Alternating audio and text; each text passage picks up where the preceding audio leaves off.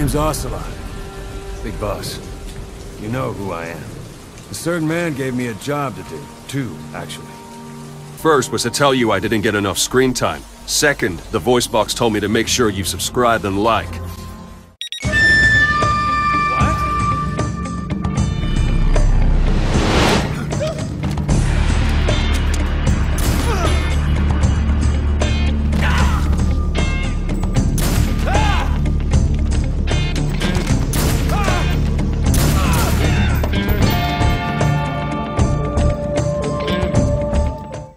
Video game character development is such an important feature. Development of one's character from both beginning and to the end of a game.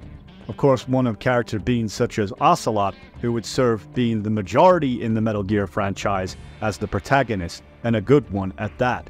Being a triple spy, taking down the likes of the Patriot system, everything would tie in really nicely into the game. Metal Gear Solid 5 included, but I just feel as if Metal Gear Solid 5, amongst many, did not put Ocelot in the limelight and spotlight as much as it should have. He felt like he was more of a backdrop character.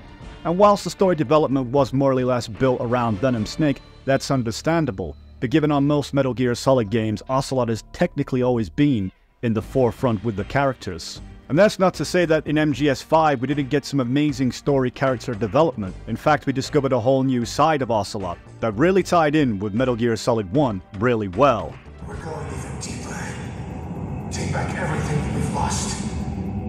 Because I'm already a demon. It really feels like a lifetime ago when Metal Gear Solid 5 was announced in 2013. MGS5 had several trailers, but of course I'm going back to the first one, and I can remember watching this and having a great sense of nostalgia and excitement for what was to come. As we all knew, it was going to expand onto the story of Big Boss and how he created his private army and outer heaven as such. But it was nice to also see returning faces that we'd seen from the original games and how they was going to play out in, in, this beautifully flawed masterpiece that would be The Phantom Pain. I don't know about you guys, but I had this sense of feeling like something was right in the world again. By the time Metal Gear Solid 5 was out, I was broke as shit, but I had my second-hand chunky PlayStation 3 along with Metal Gear Solid 5 when it came out. Thankfully, it was released for PlayStation 3 and not just PlayStation 4. Being inside game, I obviously wanted to go and buy The Phantom Pain, and in doing so I saw a few people having the privilege to buy this limited edition Day 1 Diamond Dogs PlayStation 4.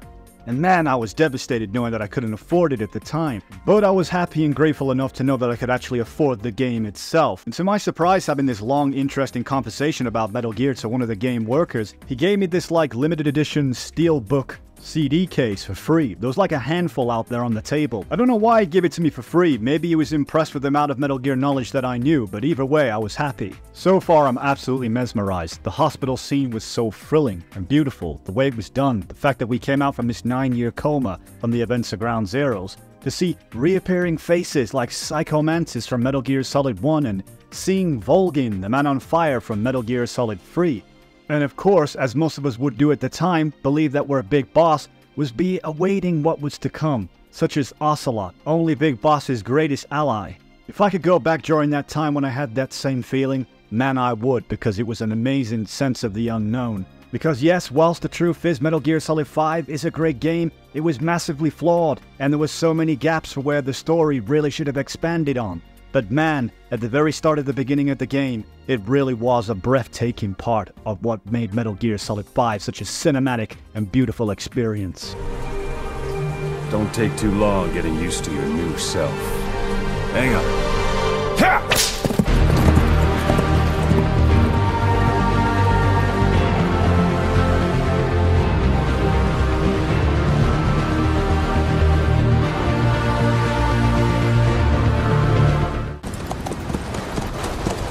Been captive for 10 days. Not much time left. Weather will clear shortly. Storm's passing. It was nice to see at the beginning of The Phantom Pain how massively involved it seemed Ocelot would be, because after nine years of being in a coma, keeping up with world affairs is going to be difficult. And who else than the triple crossing, gun spinning badass who has a bad attitude? But of course, in Metal Gear Solid 5, things have naturally changed. At this point, you could say Ocelot is in his middle ages now. He's definitely gotten older. So with that becomes a sense of more maturity. He isn't as over the top as what we remember in, in Metal Gear Solid 3. You could say it's because he was still young, and at that age, especially when it comes to men, they get quite competitive. What is that stance? Huh. That gun. you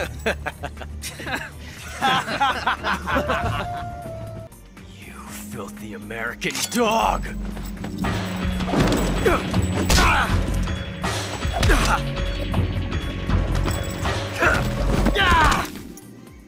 Being the son of the boss, Ocelot's already going to be naturally talented. In fact, we see it so many times that he can take out several people in one go with his gun. But of course, he's still young, he's naive, he's yet to learn into the character that he eventually becomes. But I don't think that excuses the actual characteristics that we're used to seeing, especially in Metal Gear Solid 1 and 2 and 4.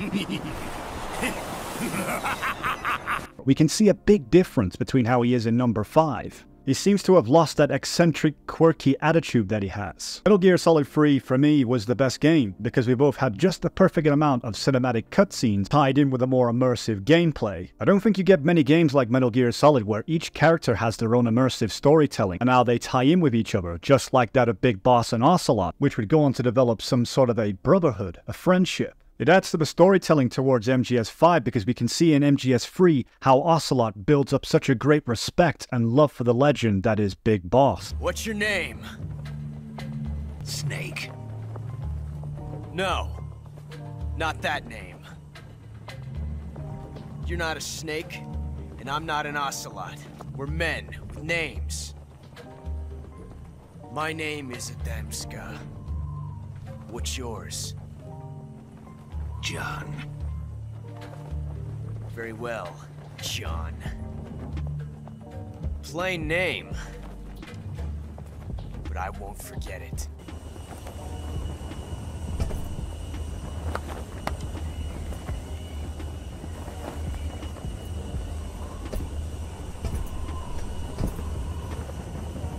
Till we meet again, John. The introduction to the Phantom Pain was breathtaking. It really set the tone and the stage to make this game become what it was. Of course, first time playing this game, I don't think any of us realized that the majority of the story was mostly going to be based on cassette tapes. Of course, a lot of people missed what was going on in Metal Gear 5 because the cutscenes or the codex wasn't mandatory enough for us to get a good idea what was happening. Of course, Ocelot was meant to be the guardian for Snake. He was appointed by Cypher to watch over him, including Venom Snake, to make sure he completes his mission successfully. As much as I love Metal Gear Solid 5, I think constructive criticism is due in time of areas where I think it's needed, especially at this point within the game. Well, well, I'm sure, I'm you'll, sure see you'll the see bigger, the bigger picture, picture eventually. eventually. This has to be a wasted moment of potential, as here Venom Snake is in a vulnerable position, and of course he plans to stop Skullface. In a moment like this, it makes no sense. Skullface could stop Big Boss right here, right now. But what a wasted scene with massive amounts of potential. As Ocelot could have been in this moment, guns blazing, guns spinning, making sure that Venom gets out of the clutches of Metal Gear. In every Metal Gear Solid game, Ocelot has always had a piece of the action. And in Metal Gear Solid 5, he has none. In fact, I don't think we see any cool cutscenes with Ocelot using his revolver and doing some mad, amazing gun spinning skills, taking out several enemies at once, showing us how badass he is like the majority of the games Yeah. Yeah, Whilst yes, Ocelot is back at Mother Base trying to train Snake's private army to become really well trained soldiers, at the same time, we get to see nothing in terms of him trying to show demonstrations of how good he is. At least showing him shooting his revolvers at some targets, anything. I mean, don't get me wrong, this scene was brilliant. It was a nice short lived piece of nostalgia, remembering back from Metal Gear Solid 3, the famous lines that Snake said to Ocelot all them years back. But I still can't understand why the majority of the game was put into cassette tapes. I mean, there could have been way more cutscenes they could have capitalized on, making this probably the best Metal Gear game of all time. Engravings. Give you no tactical advantage whatsoever. That was some fancy shooting. Pretty good.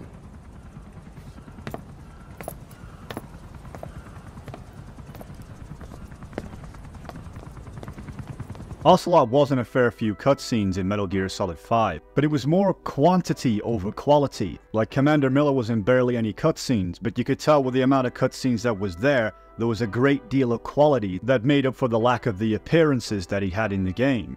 But of course, it's not to say that the scenes themselves wasn't impactful or great, it's just that I think with Ocelot's character, what is he doing back at base training puppies and dogs when we see him in every other game being a badass gunslinger getting involved in the action? But that's not to say that doesn't open up parts of his character. As I said at the beginning of the video, we find out new things about Ocelot we didn't even know, such as being able to train the likes of DD into becoming a super espionage dog capable of carrying out all kinds of different missions. So I guess we learned that Ocelot was super talented at training dogs for military warfare. Ocelot raising hounds.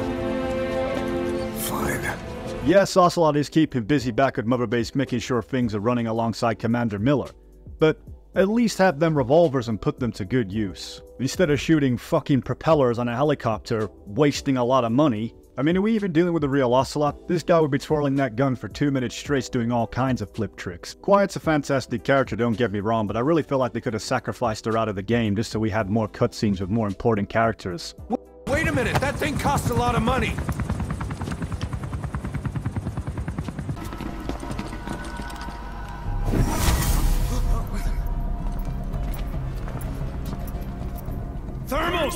Once we extracted Quiet back to base, it was also cool to see like a homage to the Ocelot unit from Metal Gear Solid 3. But once again, it was just a small little dosage of nostalgia. It offered nothing really of anything of interest. In fact, we had this new character called Quiet that came along. In my opinion, if we had to remove her in replace for Ocelot to be Snake's guardian or buddy within battle, I assume much rather would have preferred that. In course of exchange just for building on to more lore and story onto an important character. I mean, Quiet was killed off at the end of Metal Gear 5 anyway. And like with the mission Metallic Archaea, it was just completely lackluster at best. I mean, Ocelot at this point in the game, we could have seen him make an appearance here, perhaps giving Snake some kind of form of assistance, if you will. I mean, we did see him, but at the course after the fact of the battle, in the helicopter where he just seems massively reserved than his usual self. Of course, we see no action from him at all. It was just very underwhelming, giving on the connection between Ocelot that and the love that he has for Big Boss. They definitely could have built on towards the bromance between the two by showing us some cool co-op action between them.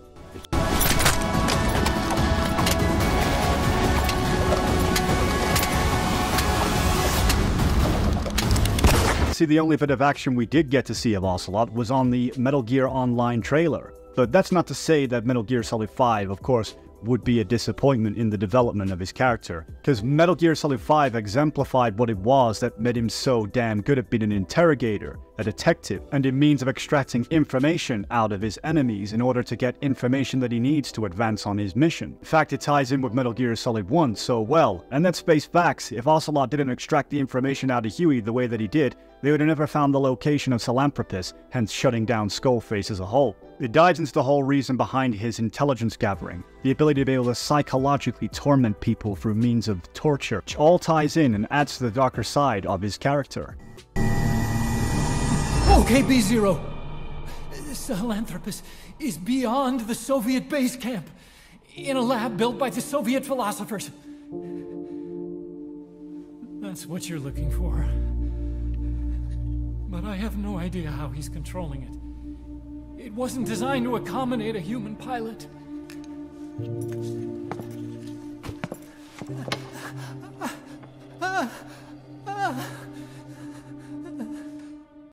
I fought wars in Afghanistan, Mozambique, Eritrea, and Chad. Among the Mujahideen guerrillas, I was known and feared as Shalashaska. I was trained by the Russian GRU. I am not like one of those KGB slugs. To me, this isn't torture. It's a sport. You're all just a bunch of sadists. Thankfully in Metal Gear Solid 5 there was a great deal of amount of pieces that tied in with the main story lore of Metal Gear as a whole. And that's the reason why it was such a brilliant game. Of course, it just had its moments where it should have expanded onto more of the character. Point I'm trying to make is that MGS5 fails to recapture some of the most important aspects aside from the ones that we saw in MGS5. Changing the voice actor for Ocelot for me wasn't a big deal. In fact, I think it was the right move considering that Josh Keaton at the time suited a more younger styled Ocelot compared to more Troy Baker's Southern American, nicely matured voice that suited Ocelot perfectly well. You make a great team, and I think you'd be a wonderful addition to the Diamond. You're pretty good. Ocelot is one of my favourite characters aside from Big Boss. Metal Gear Solid 5 was a beautiful experience, and the ending and the twist at the end made it all the more the thriller that it actually turned out to be in the end of things, which really would add a nice, interesting new take, especially towards the MSX games, realizing Big Boss had a body double. There wasn't really much in terms of action scenes that were quite underwhelming on Ocelot's part, but I definitely think that adding this last moment between him and the real Big Boss was a definite scene that they had to add, and I'm so glad they added it at the very end of the game, because it truly was an emotional farewell to this franchise as a whole. Move, move now. Quickly. Aren't you forgetting something?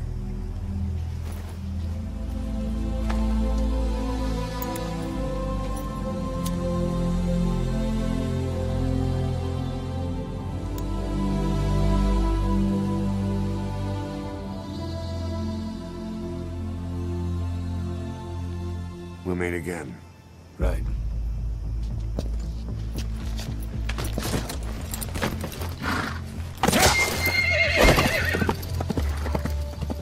I'm not going to lie when I say I had myself a tear in my eye at this particular moment because it was an emotional way to say goodbye to the entire fan base as a whole, as Kojima was going to be no longer working in Konami or no longer have rights to own the IP from the beloved franchise that he created from the very beginning of the early days of Konami. Well guys, that's all I have to say for today's video. Let me know what you think about this. And uh, yeah, thank you for joining me. This has been The Voice Box, and I'll see you soon.